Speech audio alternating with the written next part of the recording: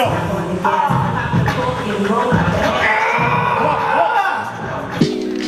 like it.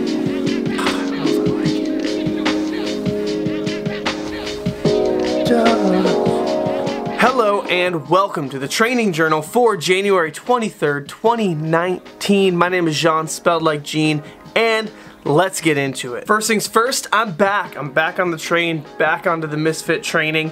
Took a week off maybe a little bit more than a week because they were testing and then life has just kind of been crazy. So I had to take some time off, was doing classwork, but I'm officially, wholeheartedly back on the Misfit train the hatchet train, if you will. Last time I did one of these, I was super excited because I was gonna have my first test week and then a whole cycle and then a retest week and I was gonna be able to show how I progressed. But this is the last cycle before the open, so there is no test week, it's just a cycle. So kind of a bummer, but also pretty cool because they are doing something called die sets which are absolutely terrible. This wasn't from today's session, but this was from yesterday's session, and here's how 300 pounds felt for a die set.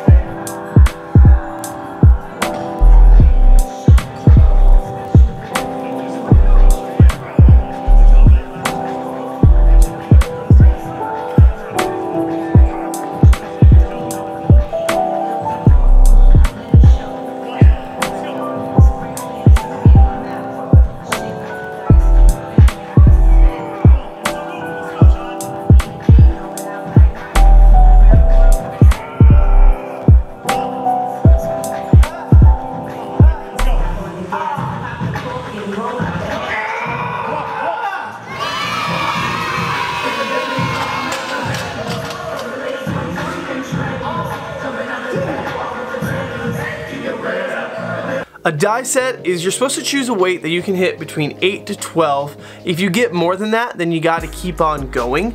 Um, I ended up hitting 14 reps and man, it was terrible. And it wasn't even like my legs felt like they were gonna give up. It was that I that same feeling right before you're about to throw up, sorry, um, but it's like in your stomach and everything like kind of gets tight. It was that same feeling and you can hear it, that's like the same noise if if you know what I'm saying. So, ooh, 14 reps at 300 pounds. Next week when they do it again, you're supposed to get 8 to 12. So I'm going to do the same thing at 310 pounds and see how that feels. Which I imagine is not going to feel uh, any better at all. But enough about yesterday's session. Today I started with a Metcon. It was four rounds, 500 meter row, 21 dumbbell deadlifts.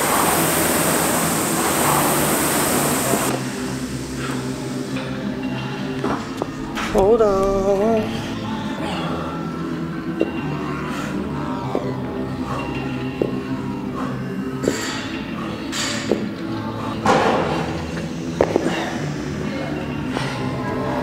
You getting stuck, I see feet in the mud. You have been caught in the flood. While the water isn't water, we run, reap what you sow, the harvest is us. You have been enjoying life, sipping the syrup and a line in the white. Taking whatever you touch, the sword of the wicked is covered in blood. Welcome to the city of the cents. Pleasure is the peace we can find in. Dive in, ride a shotgun alongside the divided. Taking a piece of the pie, taste for what's provided. We won't be silenced, the path is wide we found our God in. Blood, sweat, spit, and these bricks for Babylon Made from the dust, these souls we trampled on You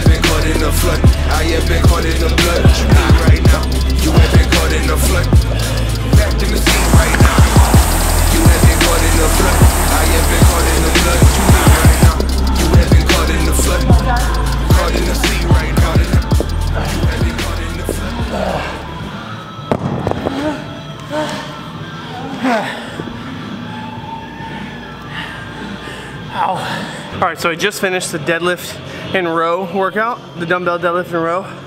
I don't know what I was thinking that would hurt, but that was hurting my legs. That was just a con continuous lactic acid buildup.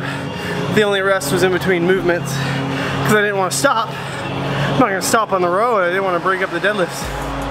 Something that I want to get better at doing is imagining what it's going to feel like in the middle of a workout before I start. Because the surprise is almost enough to kind of make you like push back a little bit.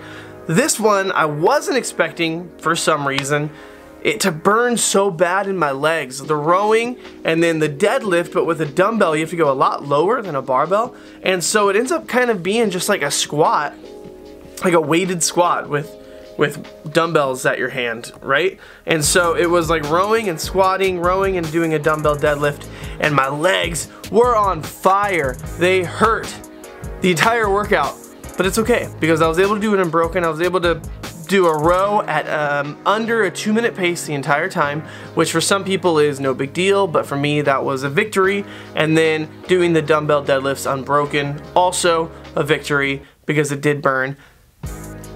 It did it did.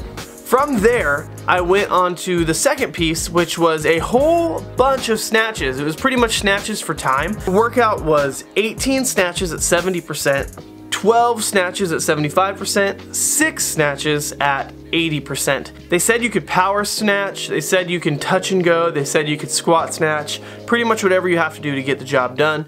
I am trying to work on my full range of motion and mobility and stability within the snatch. So I decided to do squat snatch the entire time even though I very well could have power snatched that amount and probably been a lot, absolutely would have been a lot faster at it.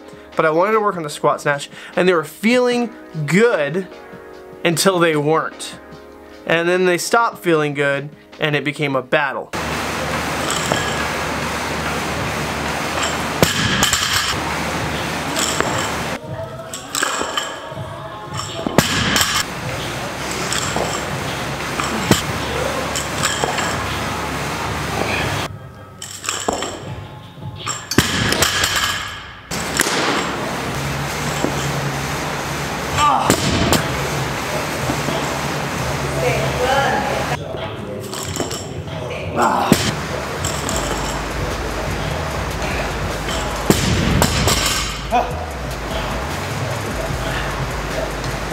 The crazy thing is, when I became the most aggressive, like I just wanted the workout to end, the moment I became the most aggressive, went back to the barbell quicker than I wanted to, those were my, the last three were my best ones. Like, I even failed multiple in that round, but those last three snatches were the best ones, and it really taught me something about being aggressive. Like being aggressive when you approach the bar, instead of being timid, instead of being like, thinking, thinking, thinking in my head, in my head, in my head, oh no, I fail. But like, let's get this, let's go, I'm gonna do this, I'm gonna finish it. And it really like, they were well, and I'm sure they're not the prettiest snatches in the world, but for me to be able to get that weight so consistently, so fast, was cool, was a victory, was a learning thing. And, and next time I approach snatches, I'm gonna really think about, all right, let's be aggressive here instead of timidly trying to put whatever weight in the air. The last piece for the day was an interval workout every 3 minutes for 12 minutes, 15 kettlebell swings at 53 pounds, 21 burpees to a target, and then 15 toes to bar.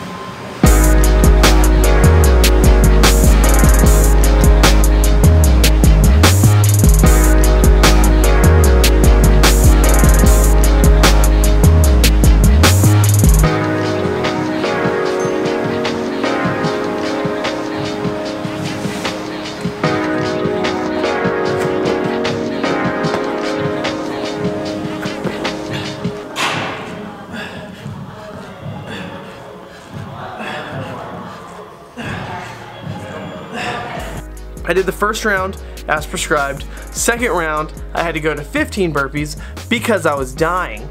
And then the third round, I did 15, but I didn't finish the toes to bar. And the last round, I did 15, but then I didn't finish the toes to bar in the time limit.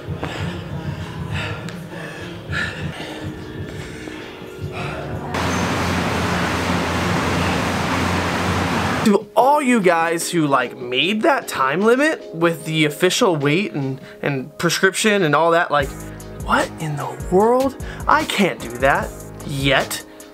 I'll get there. Like I said, I've seen the biggest increase in performance and my performance through doing more interval work. The problem is this became less like an interval and rest and more of just like a work through and then oh no I've got to start the next round again and then oh no and then you just fall into this hole and it was you know a deep dark hole. But all in all, like at the end of the day, this was one of the best training sessions I had. I was feeling good, feeling back at it. Yesterday's did not go as well, and I ended up not doing one of the things because I was just so beat up and just down. Today was a lot better. I did it more in the afternoon. Yesterday's was like at 6.30 in the morning, 6 in the morning. This one was at like 10 in the morning, so I kind of had more time to like awaken and I wasn't so like ugh. But all in all, great training day. Thank you guys so much for watching. If there's anything you guys want to know or see or anything I can change or improve, let me know in the comments below. Until next time, peace.